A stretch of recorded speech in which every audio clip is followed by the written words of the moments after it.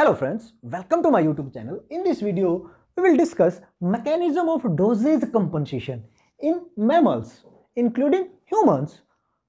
So, in case of mammals, we know that sex determination is XX and XY. XX is female, XY is male. So here you can see that in case of female, X, uh, there are two X chromosomes, but in case of male, there is single X chromosome. So here dose of X linked gene is double in case of female and we know that it is detrimental. The dose should be equal. So how this dose is made equal? In case of mammal including humans, this, this dose is made equal by inactivation of 1x chromosome in case of in females. So here we know that female have 2x chromosome. So if one is inactivated, then dose will become equal. So here dosage compensation is done by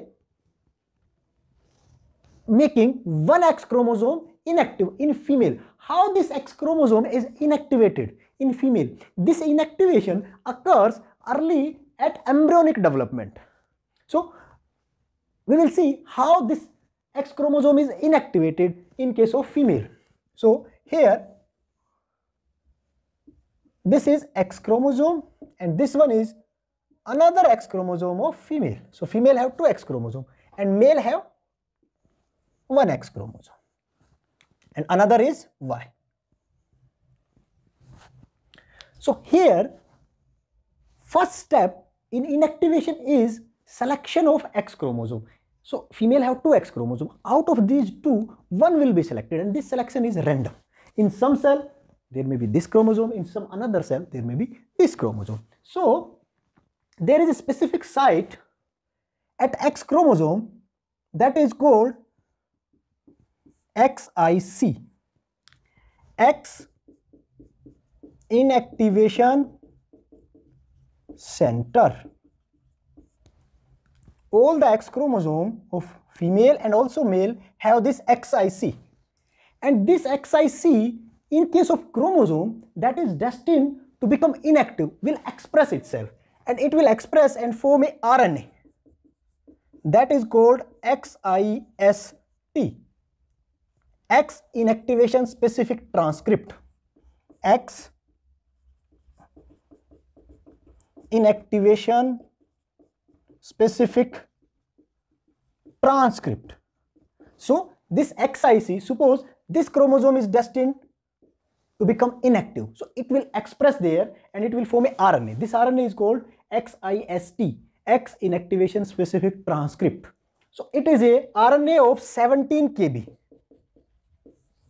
This RNA that is called XIST will cover this whole chromosome.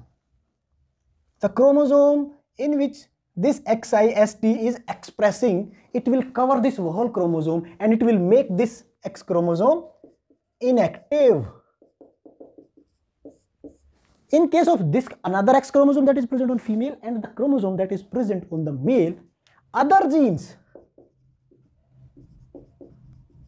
will express the expression of XIC.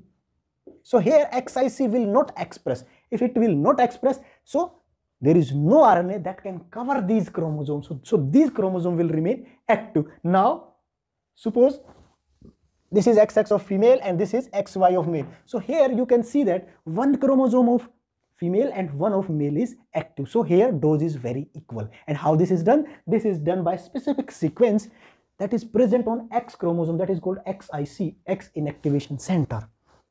So this XIC will make a RNA, 17 kb RNA that is called XIST, X inactivation specific transcript. This transcript will cover the whole chromosome, whole X chromosome on which it is expressing. So if, if it is expressing on this chromosome, it will cover this chromosome and it will make this chromosome inactive. So that's how X chromosome in case of mammals, including humans, is inactivated and dose is compensated.